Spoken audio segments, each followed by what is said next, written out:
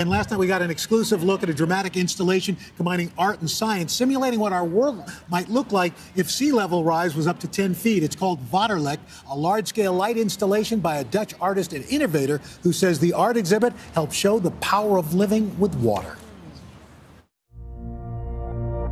This is really amazing. Imagine a world underwater where seas have risen 10 feet. So you forget you're in New York. It's like very calming.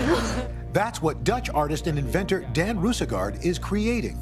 So Daan, this is Waterlicht. This is Waterlicht, yeah. So right now we are below sea level. Uh-huh. So it's a combination of LEDs and lenses which actually show how high water level will reach in the future if we're not more careful about our planet Earth.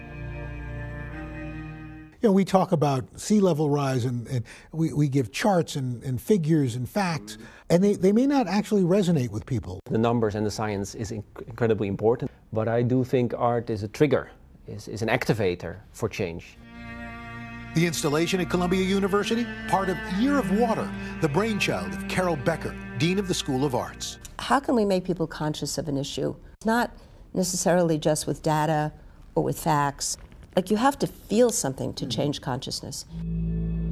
I think this forces you to think of that sea level rising, that climate change in, a, in such a different light, just because yeah. all of a sudden you have a visual representation of, oh, this is where the water is going to be. This is what's going to happen if we don't actively change our habits. Becker says, at a time when weather is more extreme than any time in recent history, understanding the urgency of a changing climate is critical.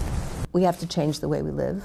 We have this amazing planet uh, there isn't another for us. And I think that's the beauty of art, that it can show a future world. If we can't imagine a better future, we won't get there.